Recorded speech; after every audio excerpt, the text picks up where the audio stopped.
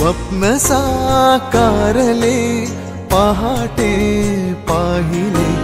नावना त्याला काय नवे वेगळे मांडले सोहळे तुझसाठी।